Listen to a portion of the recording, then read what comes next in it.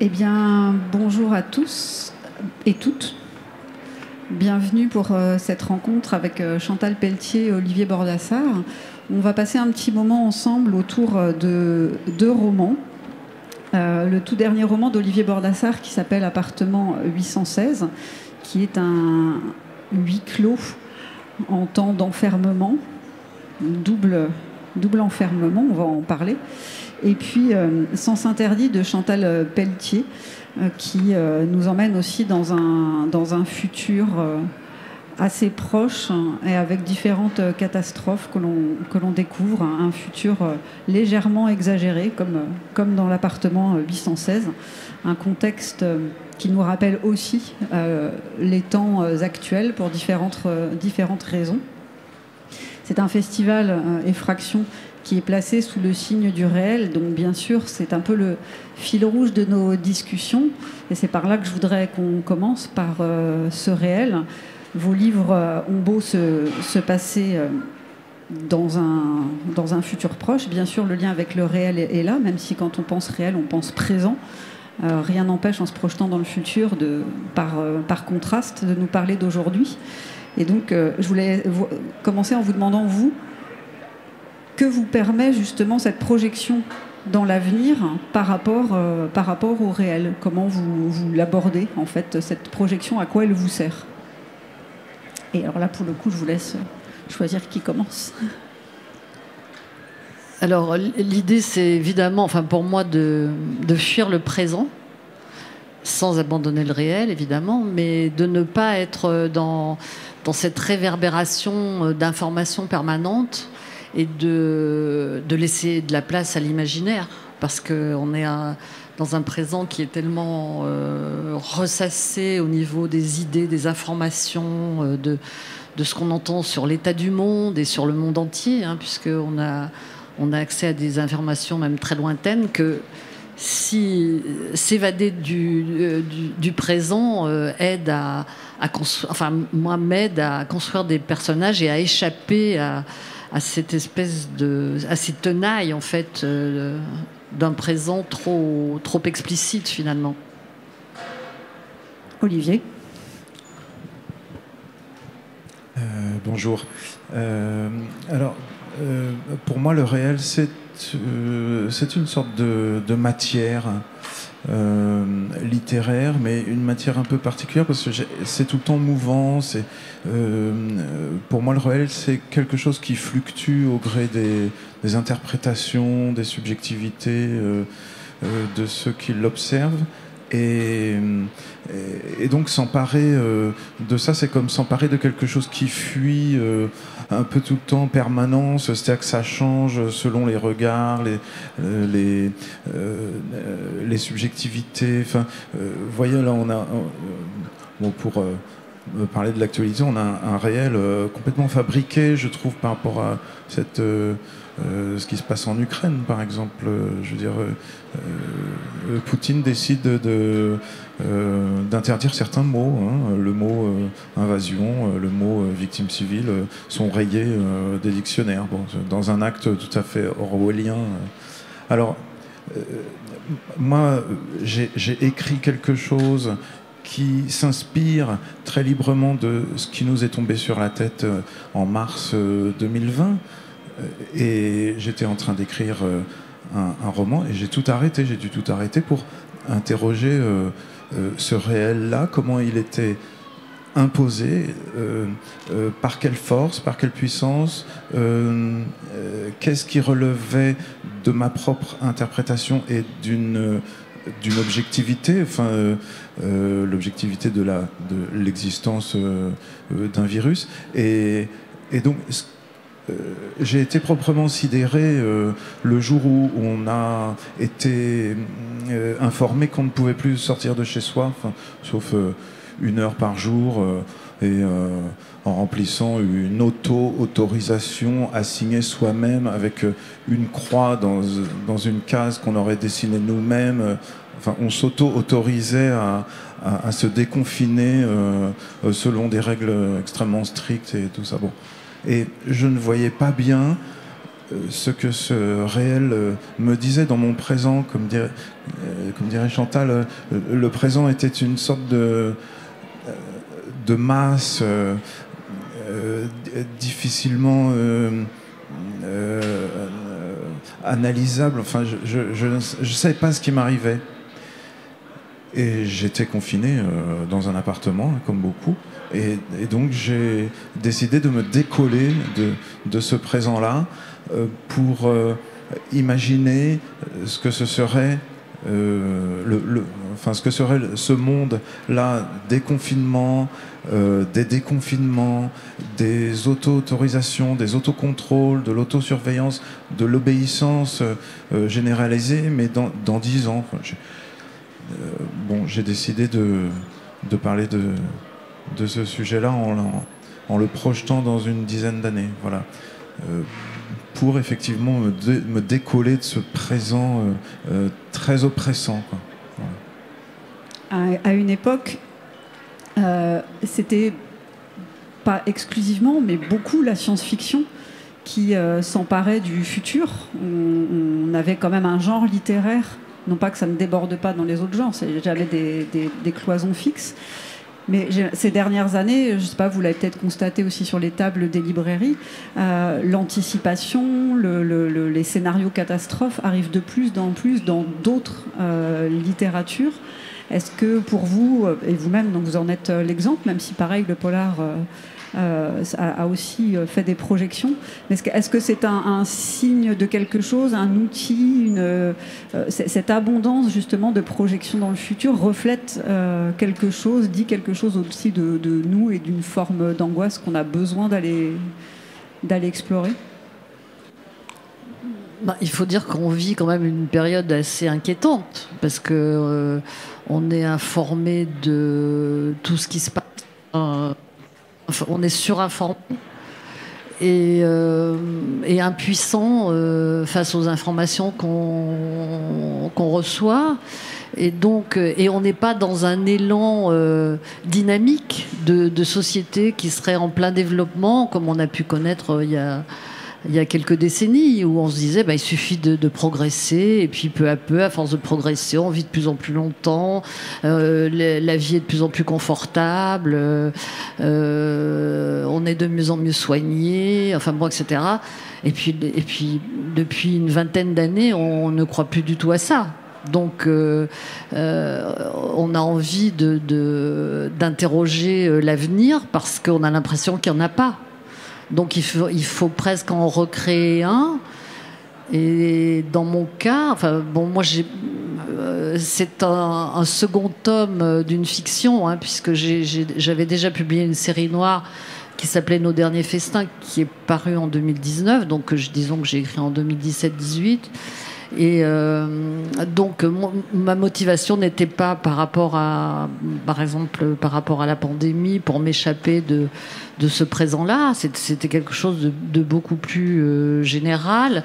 Il me semble que, euh, c'est-à-dire de, s'interroger sur qu'est-ce qu'un monde quand les relations humaines sont à ce point dématérialisées, qu'est-ce que ça signifie pour pour les êtres humains, en fait, euh, euh, en absence de contact généralisé. Et, mais, là, je parle de choses qui existaient bien avant la pandémie. Hein. La pandémie n'a fait que accentuer quelque chose qui voilà. Et je crois que ça fait une vingtaine d'années que même que ce soit du polar ou des romans, il y a toujours une question sous ce que ce que j'écris, c'est-à-dire qu'est-ce que ça signifie de vivre dans un monde où on connaît mieux le, présentateur de télé, l'animateur de télé, disons, que son voisin de palier, en gros. Euh, c'est-à-dire humainement, où est le lien entre les hommes, comment, euh, euh, comment on peut imaginer avoir des sentiments, que peut devenir la sexualité, enfin, etc.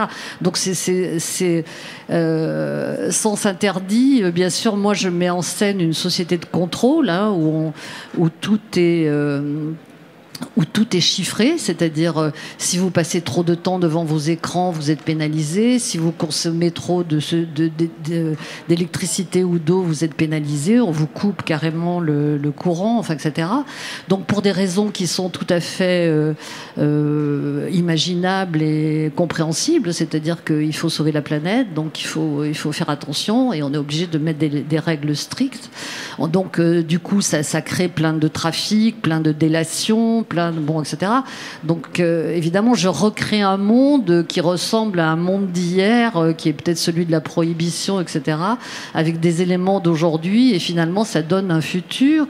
Mais vous dites, euh, par exemple, tout à l'heure, vous disiez c'est un futur exagéré dans le cas d'Olivier ou de moi, mais on ne sait pas. C'est-à-dire que peut-être que euh, quand on lira Olivier dans 10 ans et moi dans 25 ans, on dira mais qu'est-ce qu'ils étaient optimistes? Euh, Parce qu'effectivement, quand j'ai commencé ma, ma, ma trilogie, enfin, ma. Euh, ma série, disons, je n'imaginais pas la pandémie, je n'imaginais pas qu'un jour un, un, fou allait nous menacer de guerre nucléaire, bon, etc. Donc, euh, et je me dis, mais heureusement que j'étais dans le futur et, pas dans le présent pour écrire.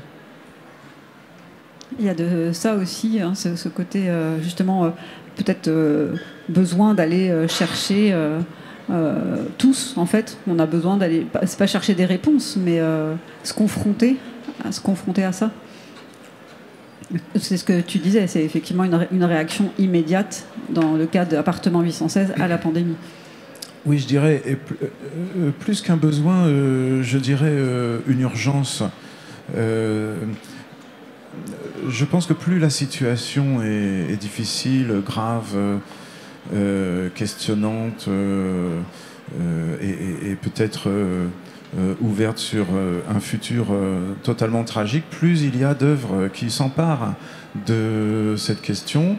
Et en ce moment, enfin depuis depuis quelques années, moi, je, vois énormément de films sur euh, euh, des catastrophes euh, climatiques, des, guerres mondiales, des, mondes absolument ravagés.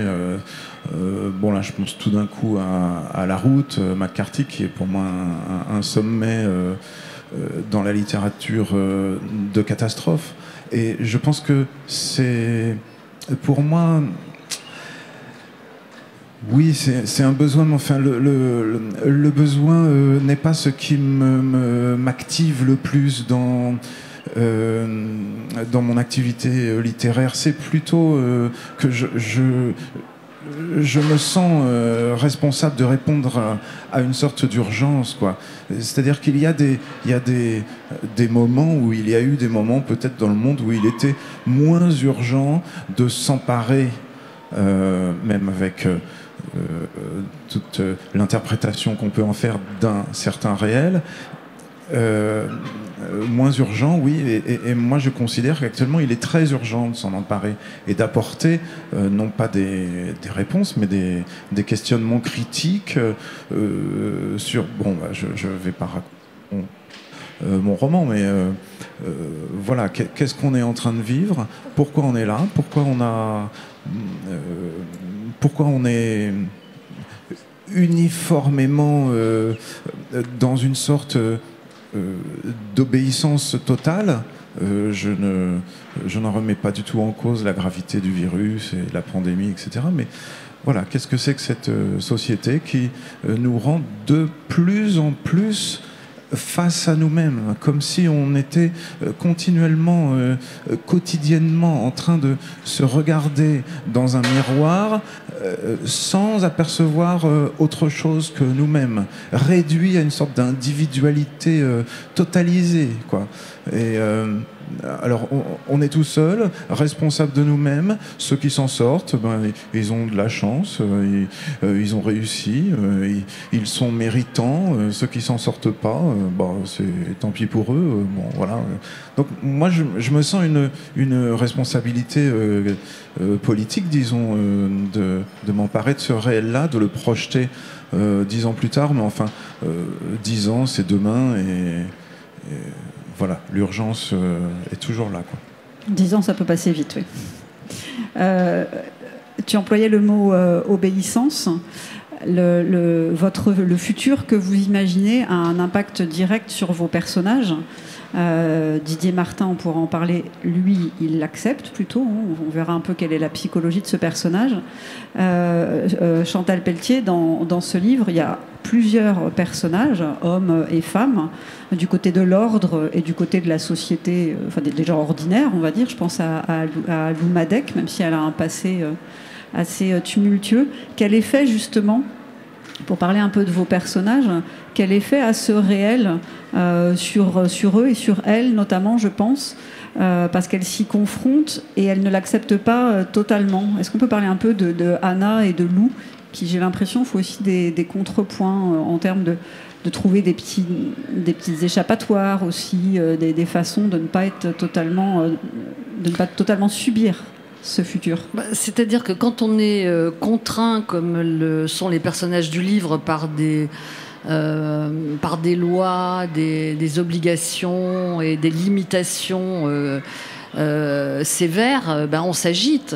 On s'agite pour pour voir jusqu'où vont les limites. malheureusement, on est obligé de les franchir. Donc, c'est non seulement une agitation extérieure pour se débrouiller d'une situation, puisque, par exemple, quand, quand on euh, quand on outrepasse une règle, bah, ça veut dire qu'il faut qu'on aille faire des stages de récupération de points, il faut qu'on suive des coachings de, euh, de réadaptation. Et ça, ça prend sur vos temps d'écran, ça prend sur vos temps. Enfin, et donc, vous ne pouvez jamais vous en sortir.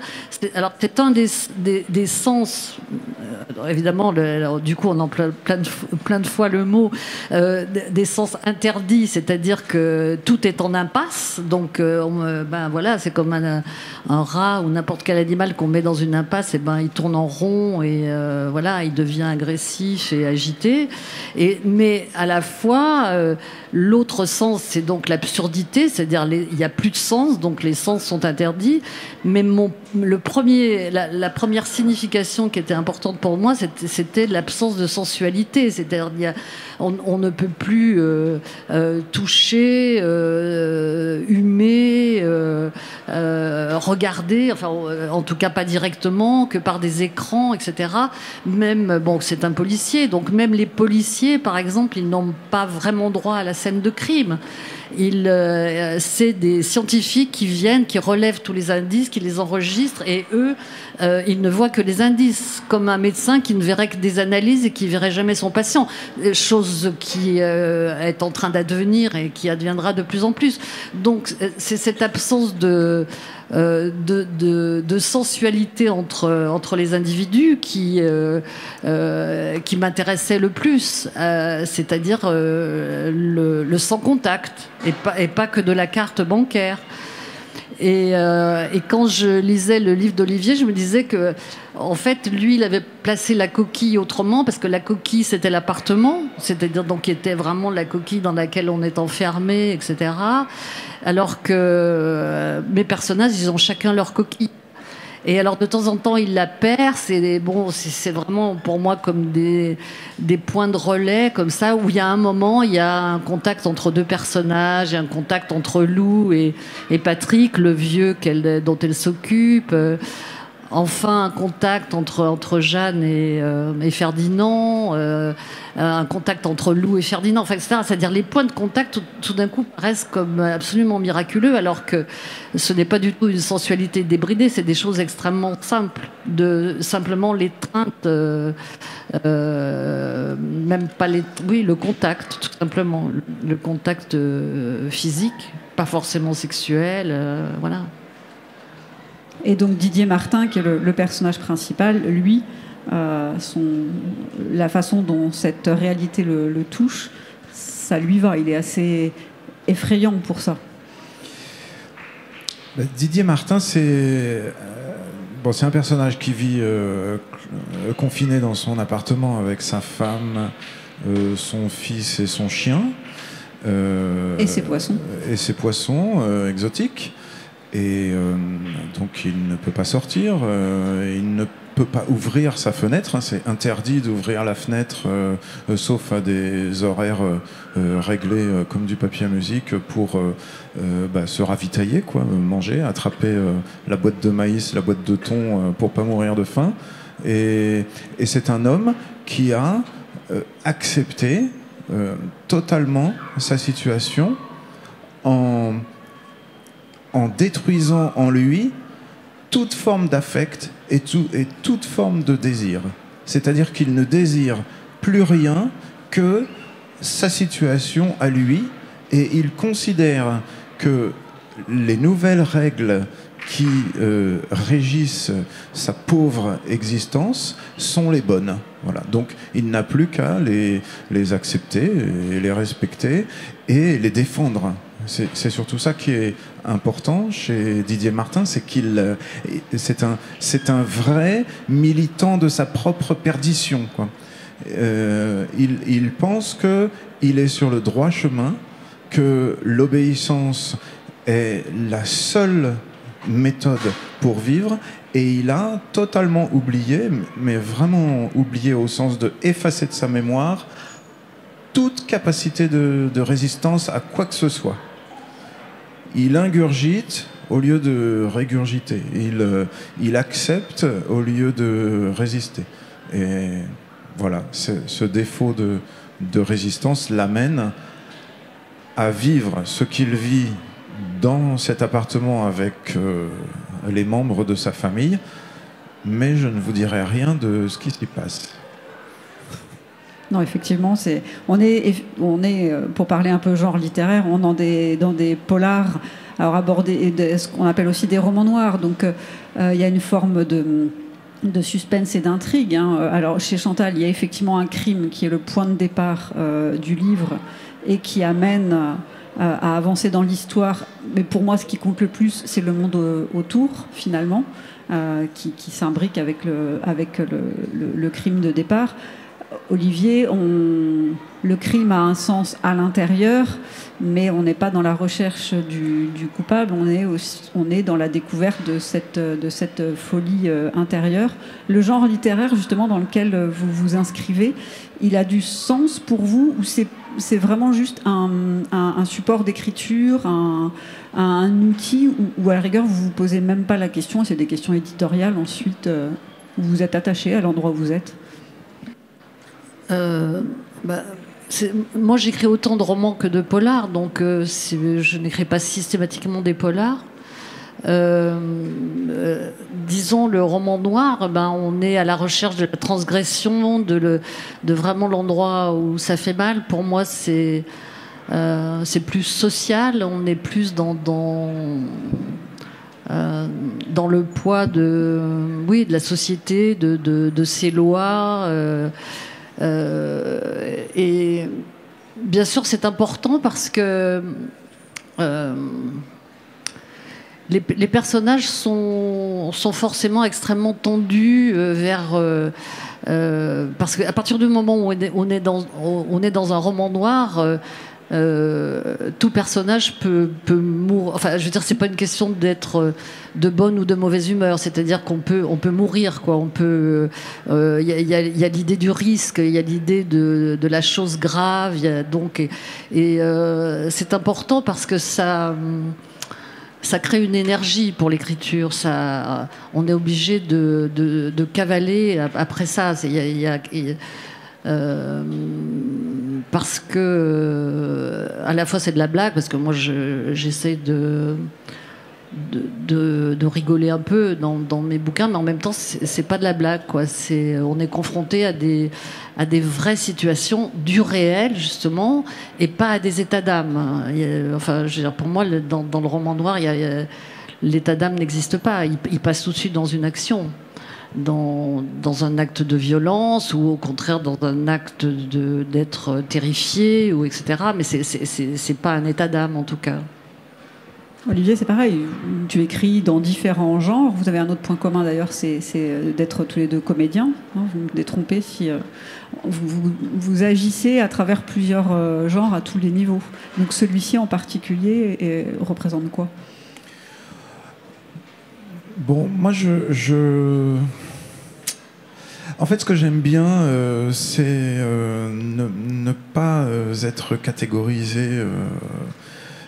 J'écris des romans qui sont considérés comme des thrillers.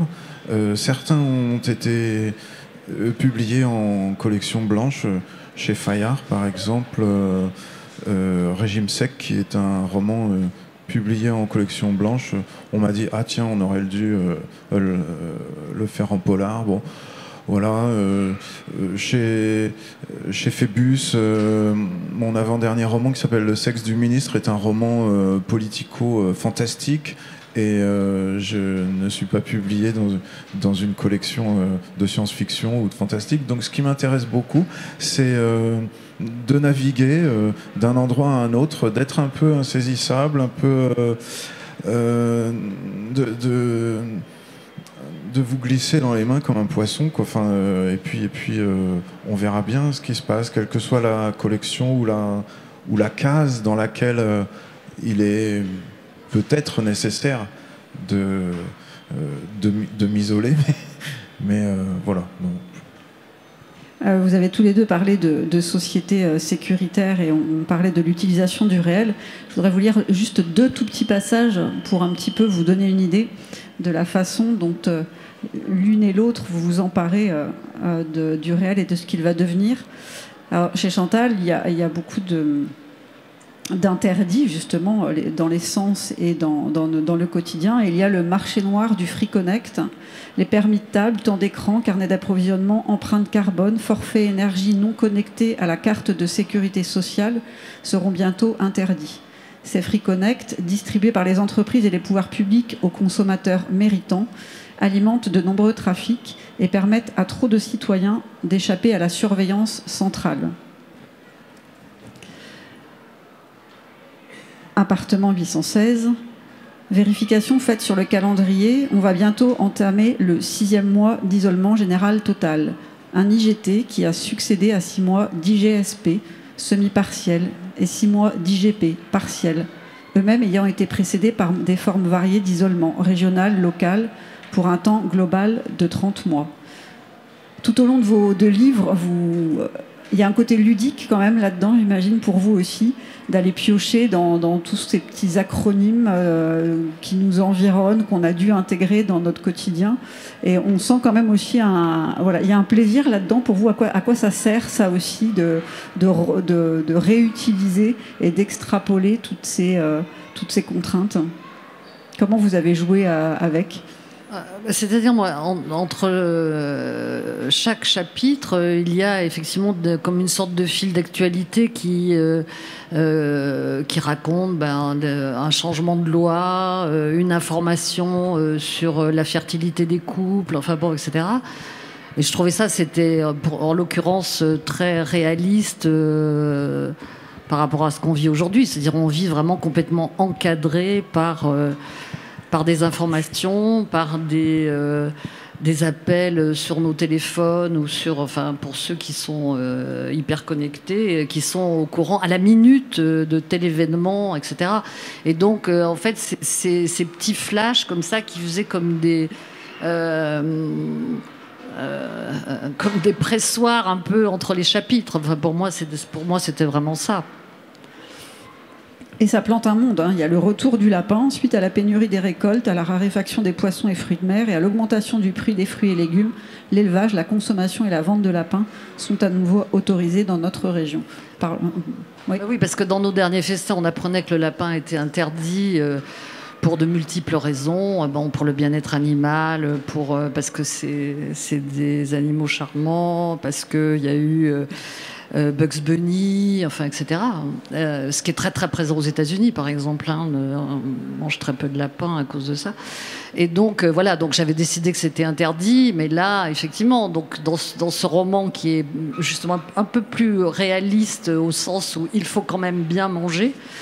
Ce qui risque d'ailleurs de nous arriver peut-être dans les mois ou les années qui viennent, il va falloir penser qu'il faut effectivement faire attention à notre à, notre, à nos rations alimentaires parce qu'on est extrêmement dépendant, non seulement sur le plan industriel, mais sur le plan agricole et donc alimentaire de, de, de plein de choses. Et qu'on ne peut pas décider comme ça des, des préceptes. Euh, quasiment religieux euh, si facilement. Quoi. Voilà, donc c'est donc jouer avec ça. De toute façon, à partir du moment où on est dans une fiction, il y a, y a, forcément un jeu. Le jeu, euh, oui. Euh, quand Olivier joue avec le local, le régional, le national, bon, enfin, etc. Bien sûr, bien sûr, on s'amuse. Heureusement qu'on s'amuse quand on écrit parce que les, les, mots, c'est c'est des jouets euh, merveilleux, euh, extrêmement précieux.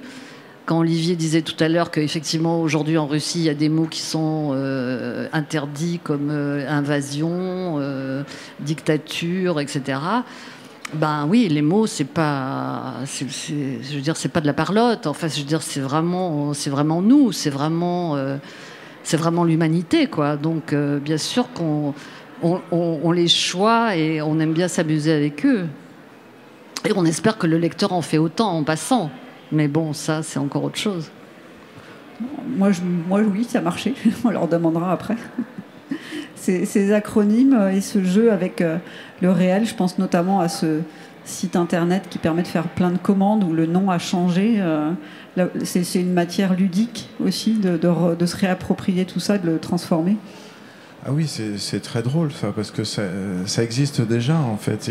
Il, suffit de changer les noms, quoi. C'est juste une question de terminologie, parce que les sociétés de contrôle, elles euh, fonctionnent par codification. Hein. Donc on a tous là, euh, tous autant que nous sommes, euh, vous, nous, euh, des identifiants, euh, des mots de passe.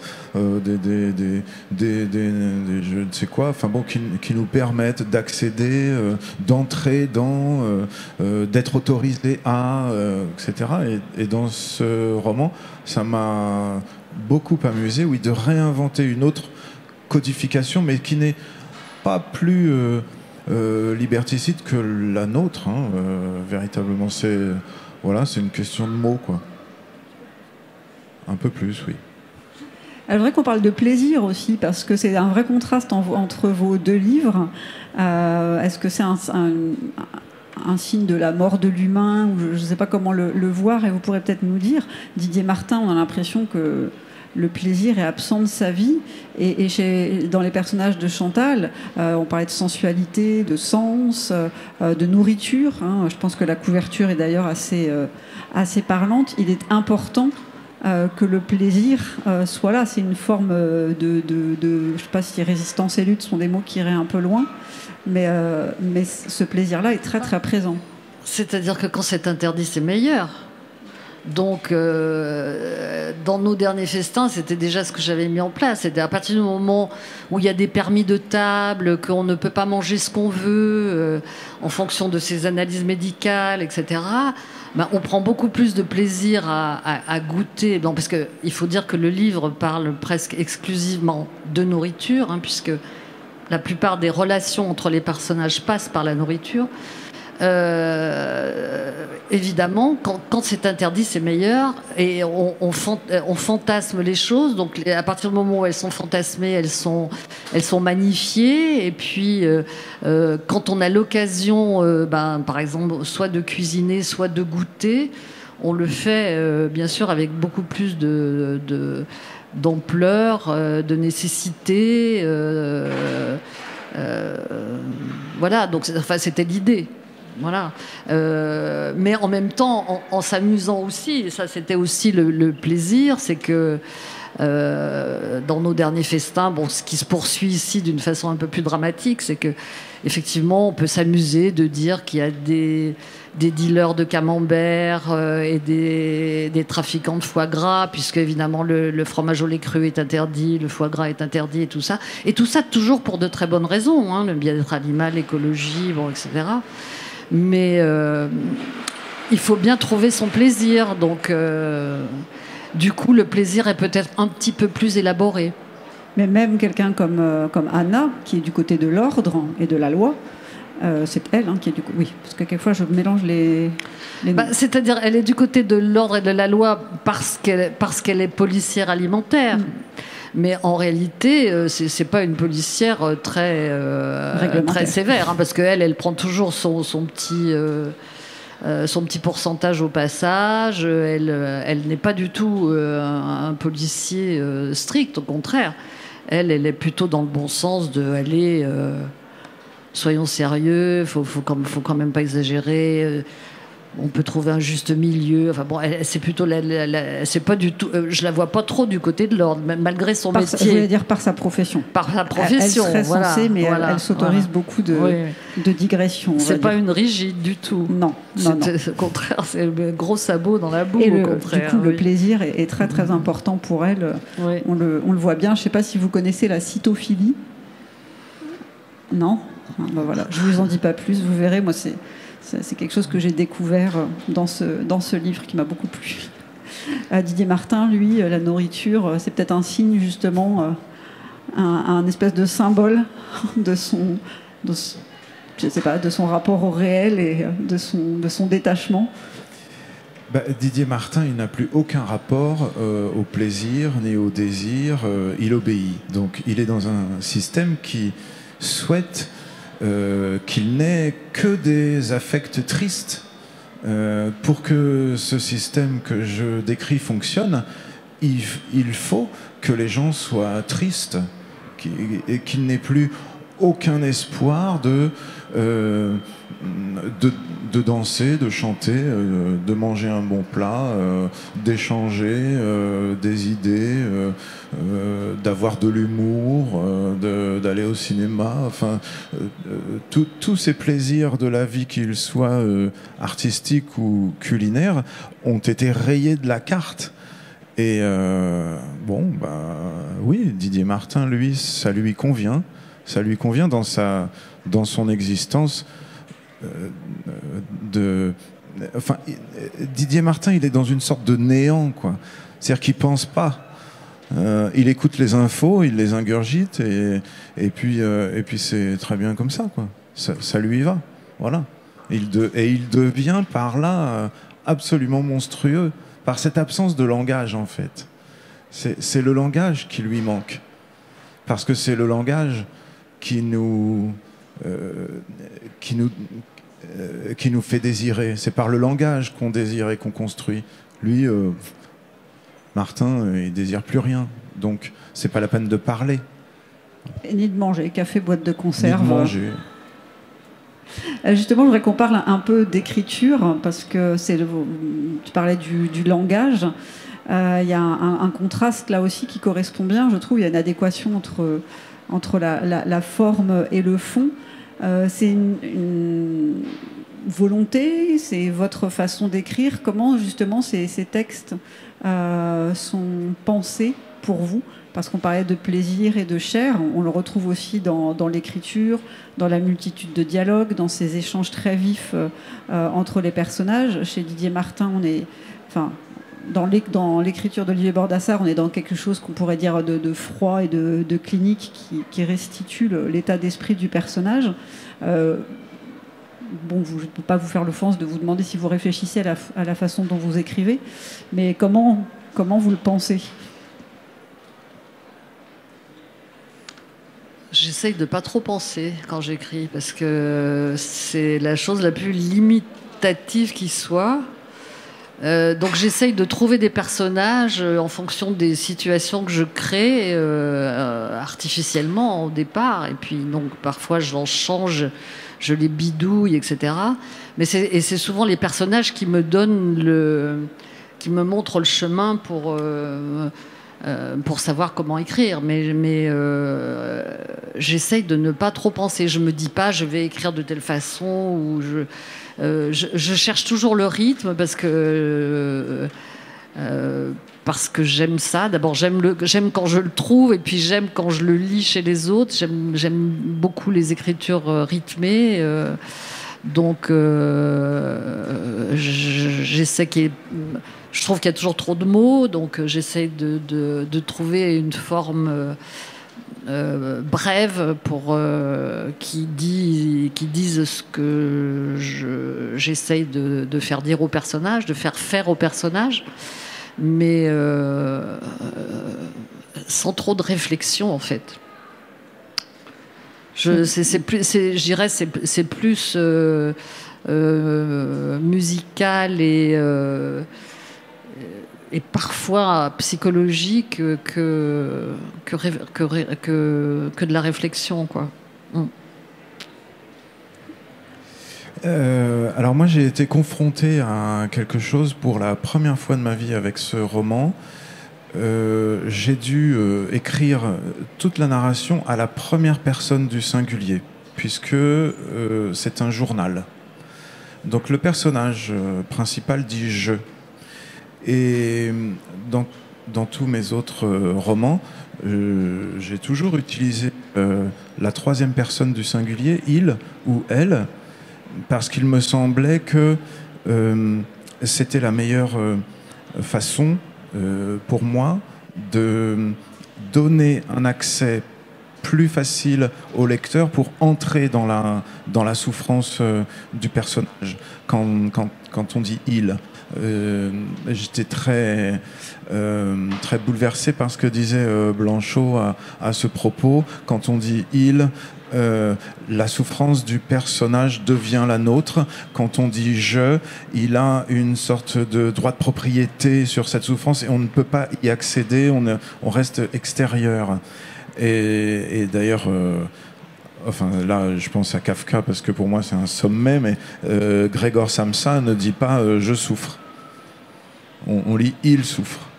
Et c'est parce qu'on lit il souffre qu'on peut entrer dans sa souffrance et qu'on peut entrer dans son état de, euh, d'insecte.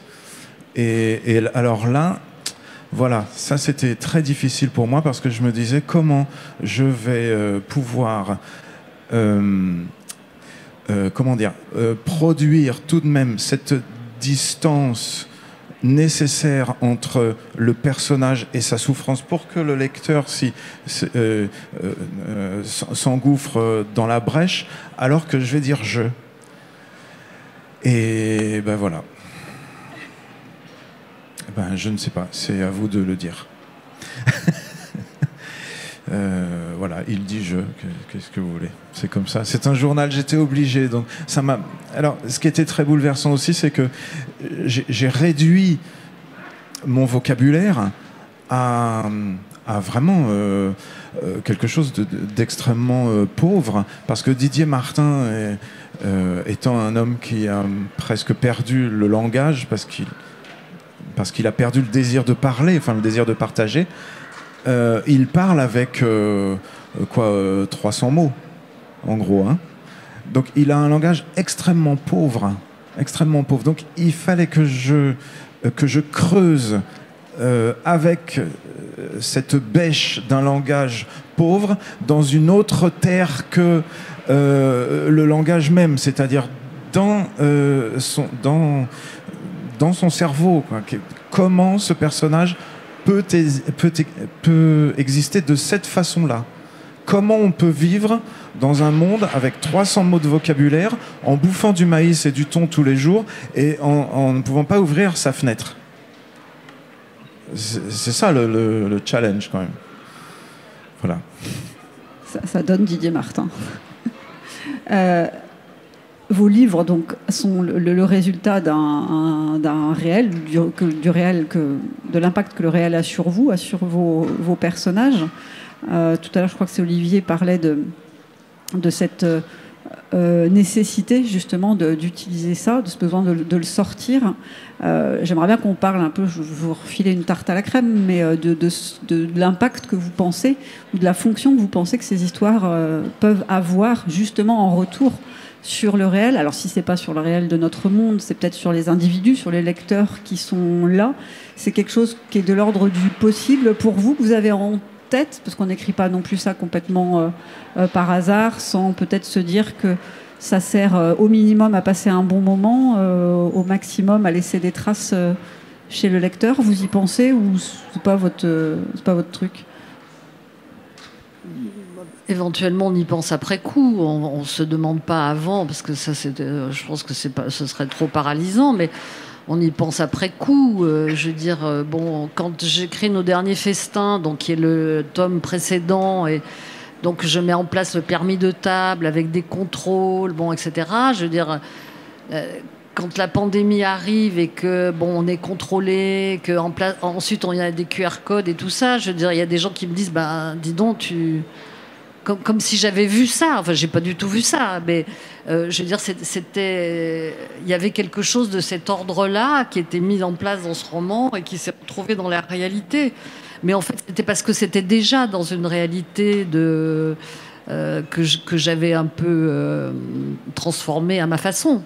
Donc voilà, c'est les échos de, justement où on a beau être dans le futur, on est rattrapé par le présent. Voilà. Donc euh, mais c'est toujours après coup. Euh, il y a toujours un moment. Le, le, lecteur, lui, il a son livre qui n'est pas, celui que vous avez écrit. Chaque lecteur a son livre finalement. Ch chaque lecteur est un interprète de ce que vous avez écrit. Enfin, si vraiment il vous lit. Hein, bon.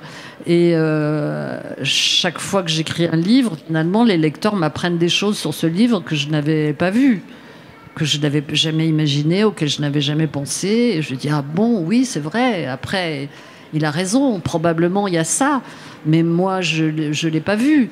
Donc, euh, quel impact euh, Ben, c'est on, est on est assez peu responsable de l'impact. C'est si on, si on arrive au bon moment dans la, dans la vie d'un lecteur qui a envie de. qui tout d'un coup. Voilà, c'est comme entre. C'est comme entre deux personnes finalement, c'est-à-dire c'est une rencontre, ça se passe ou ça ne se passe pas. Et euh, en tout cas, moi, je n'ai pas. Je n'ai. Ou alors je serais multimilliardaire euh, si je si j'avais le contrôle sur cet impact parce que je me dirais bah voilà je voudrais avoir 300 euh, 000 lecteurs et puis je sais pas et trois fois plus à l'étranger enfin je sais pas quoi je veux dire non je je, je, je pense pas à ça je,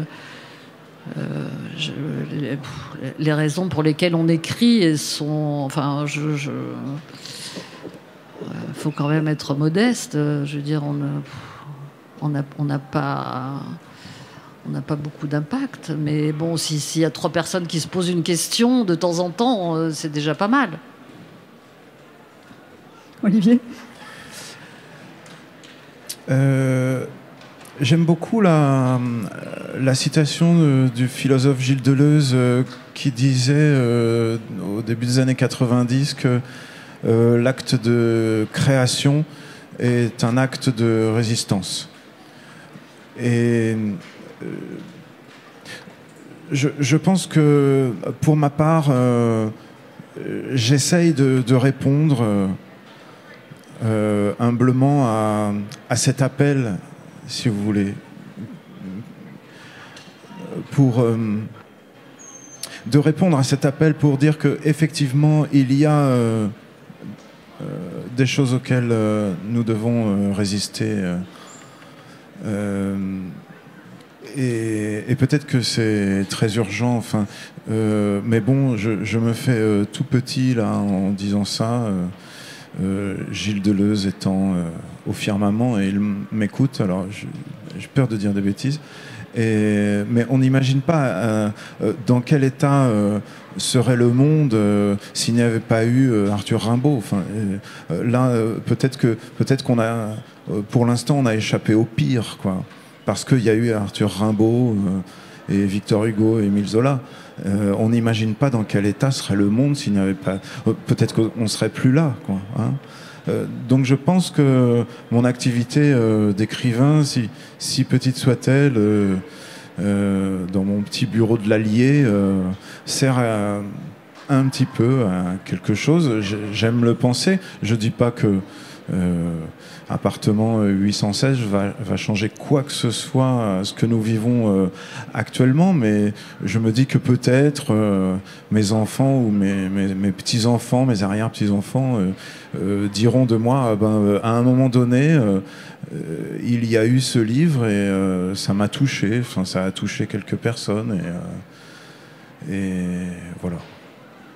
À défaut de, de, vendre 300 000 exemplaires et de devenir des superstars, voilà.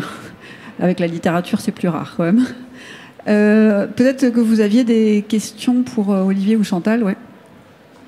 Ou les deux.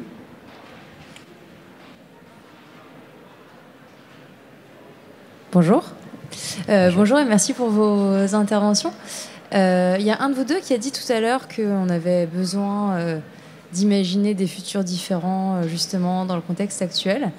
Euh, j'avais une question en tête. Comment est-ce que vous y prendriez si, pour écrire une utopie euh, qui ne devienne pas une dystopie au bout de 100 pages euh, et qui tombe pas non plus dans le côté mièvre que peuvent avoir certaines utopies? Ce serait laquelle votre utopie?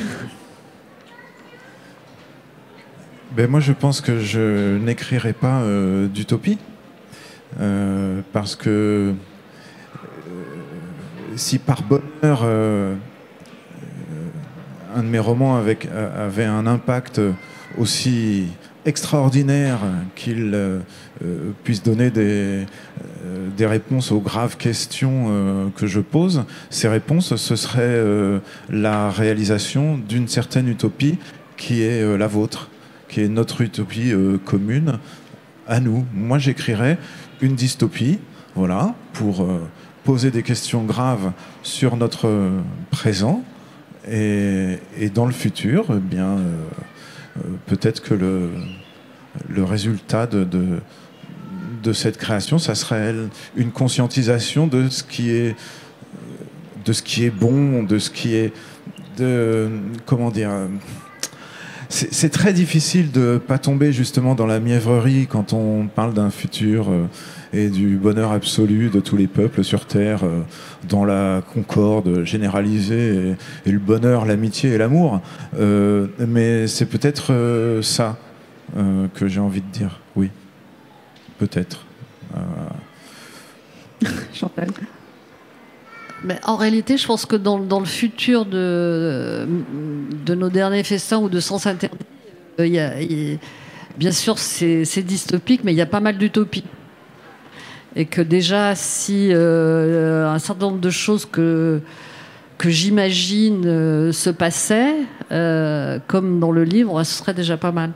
Par exemple, une des choses qui est assez fleur bleue et utopique, c'est d'imaginer que un, couple un jour décide de euh, prendre trois vieux euh, qui sont largement nonagénaires euh, pour leur éviter l'EHPAD et, et, donc de créer une sorte de maison de retraite au rez-de-chaussée d'une maison avec une senior sitter qui les garde, comme on fait finalement avec ses enfants, etc. Parce que bon, là, on ne parle plus du tout de ça parce que là, on est sur euh, une atmosphère de guerre. On a parlé il n'y a pas longtemps de de ce qui se passait dans les EHPAD, etc. Et donc voilà, par exemple, c'est un côté très utopique qui est dans le livre parce que euh, c'est effectivement ce couple de femmes qui a instauré ça, qui l'a fait, et qui finalement, même si c'est pas facile, va conduire euh, ces ces trois vieillards euh, qui font un peu euh, Jules et J, mais qui finalement ont une fin de vie assez idéale. Enfin bon, je m'imagine, si, ça m'arrivait, je serais contente. Choisi, oui. Oui, il y a une forme de communauté qui peut être cette utopie-là, qui irait aussi à l'encontre d'appartement 816 et de cet homme isolé dont on voit bien ce que ça produit. on va peut-être s'arrêter là, sauf si vous avez une dernière question. Sinon, on vous propose de, les retrouver en signature. Ouais. Une, brève question et on aura une brève réponse. Non, euh, moi, j'ai pas lu voler parce que je ne savais pas que ça existait, cette euh, table ronde, enfin cette, euh, cette séance. Mais moi, je suis ex-ouvrier et, aujourd'hui, on est très inquiet avec les grandes productions, les grandes productions d'automobiles, de maladies, les grandes productions de, de maladies, d'êtres humains. Et je me demandais pourquoi euh, ce besoin absolu de, de, créer des personnages alors que la littérature en fourmille. Quoi. Pourquoi écrire? En gros, non? Pourquoi créer des personnages? Euh, Oui, c'est une vaste question. Euh. en plus, il va falloir faire des réponses courtes. Et en plus, on va faire des réponses courtes. Donc, je, je ne crée pas des personnages, je crée des langages. Et c'est avec euh, du langage que les personnages naissent et que les histoires naissent. C'est grâce au langage. Et que ces personnages qui sont faits de langage, bah, ils disent mieux euh, le réel que le journal télévisé, ça c'est sûr. Même, même, même un roman raté en dira plus que le journal télévisé, je pense. C'est le pouvoir Grâce de la à ces personnages. C'est la chair. Parce que justement, c'est euh, c'est cette partie de matière qui échappe euh, et, qui, et qui construit quelque chose qui, qui dit bien le réel. Ça me paraît pas mal pour conclure. Merci beaucoup. Euh, merci à vous. Puis vous pouvez les retrouver donc euh, à la table avec les livres pour continuer la discussion. Merci.